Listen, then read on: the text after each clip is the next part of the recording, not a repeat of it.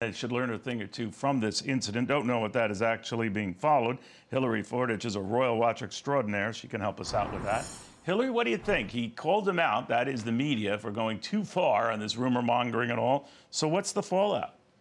Yes, he did. Although I would say perhaps I'm just one of those people that tries to make lemons out of lemonade. In that, look, Oscar Wilde said the only thing that's worse about being talked about is not being talked about at all. So, you know, what if the British royal family was totally and utterly irrelevant? If no one knew, no one cared, no one talked about it.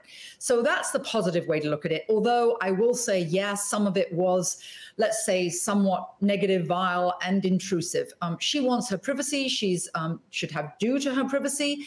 Um, I think that he really must just appreciate that the world is interested in her and her name was trending. One of the things I, I first saw is Kensington Palace itself is sort of being called on the carpet uh, for not.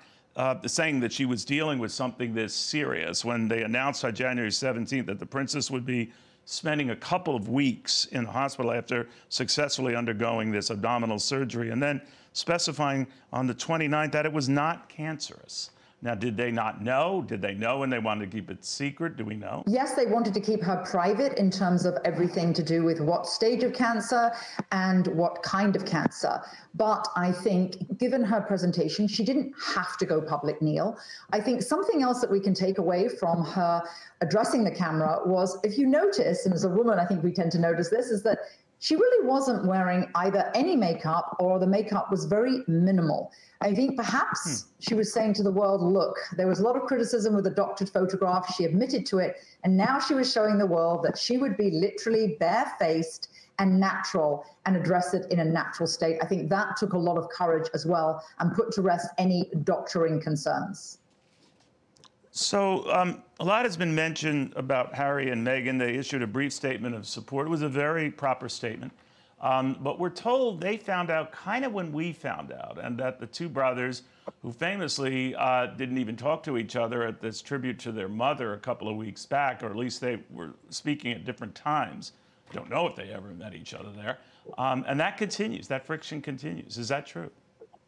Yes, I was actually on air live uh, last night, prime time UK time, GB News time, although late afternoon here when that statement did come from the Sussexes. I thought it was, to your point, it was brief, to the point. There was nothing about them. There was no whinging, no whining. And if they had stayed along that sort of track the entire time since they decided to leave the royal family, their popularity ra- ratings would not be in the bucket as they are now. With regard to your question about friction, yes, absolutely, Neil. Look, any of us, if somebody throws their family under the bus, actually throws all their friends under the bus, and remember, she left her country, then she went back to her country. And decent people don't like deceit, Neil, and they deceive the public. They said they wanted their privacy. They hired three PR firms. And of course, in that Oprah interview, there were at least 17 shall we call them mistruths and misrepresentations. So they've done a lot to damage their own reputation. So that friction comes from being hurt. Remember, it was Prince Harry who actually threw Kate under the bus. And when she first came into his world, in other words, his relationship with Prince William, he said, she was like the she is like the sister I've never had. He was so close to her.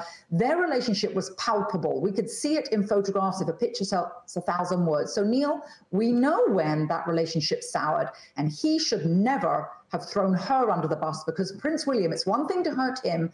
It's one thing to hurt his extended family, but you do not hurt Princess um, Catherine under his watch. Well, we'll see what happens now. A lot of families come together with something like this. Um, good many yes. families don't, but we'll see. Hilary, always good. I learn a lot every time I talk to you. Thank you very much. Thank you, Neil, for having me.